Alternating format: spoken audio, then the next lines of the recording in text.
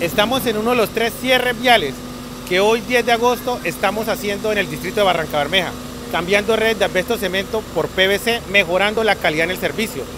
Hoy estamos acá revisando todo el proceso constructivo, pavimentación, recuperación de vías.